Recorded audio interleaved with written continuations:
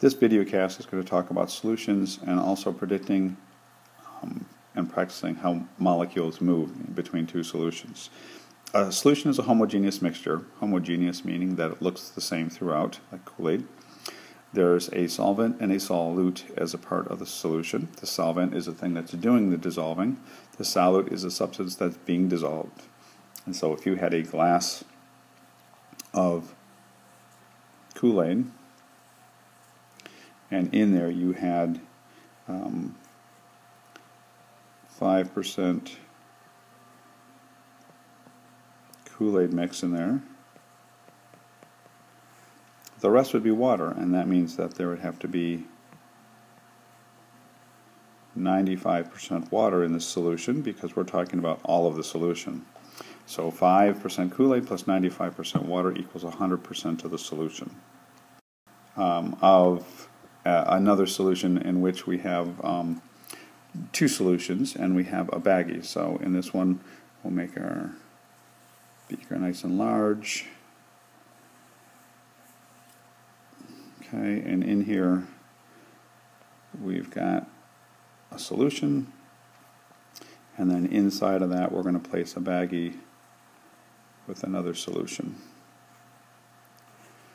Okay, in the outside um, solution here, uh, we're going to have a saltwater solution. So because it's a solution with salt water, it means we have some salt,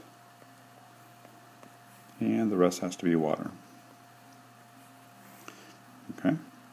Um, if this had a 10% solution of salt, there'd be 10% salt, and there would have to be 90% water, because together this has to make up 100% of the solution outside. And if we looked inside and we had um, a 20% salt solution, there'd be 20% salt, and there would have to be 80% water.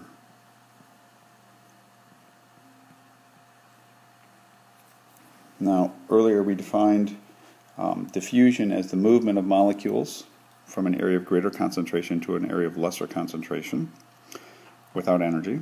And we, we defined um, the same for osmosis is the movement of water from an area of greater concentration to an area of greater, uh, lesser concentration without water.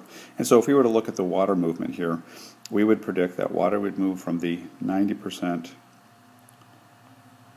to the 80% because 90 is greater than 80. And so we could draw an arrow to show that water moves into the bag from the beaker solution because it's moving down the concentration gradient and it's moving into the beaker. Likewise, for the salt solution, um, we would say the salt would move from the baggie, because it's 20%, into the beaker, because it's only 10%, and both would be moving down the concentration gradient from greater to lesser without energy. The movement of salt happens by diffusion, the movement of water happens by osmosis. So in the worksheet, um, you just have to identify uh, the percentages of each of the other solutions. So in the